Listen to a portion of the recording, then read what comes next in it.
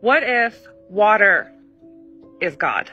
Then that would mean God is both in us and all around us. That God is both above and below us. Why a woman's water breaks when we're born, and why some religions observe the ritual of baptism.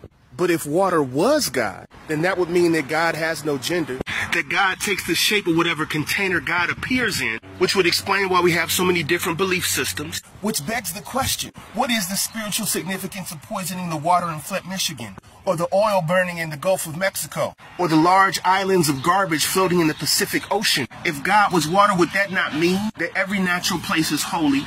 That every thunderstorm was a church without walls? That when the rain falls, it's an act of God's death giving life, and when it evaporates again, it's the day of resurrection? And life itself was just a test of learning how to be and flow like water, how to give life to other people, and how to refresh their spirits and quench their thirst with your presence.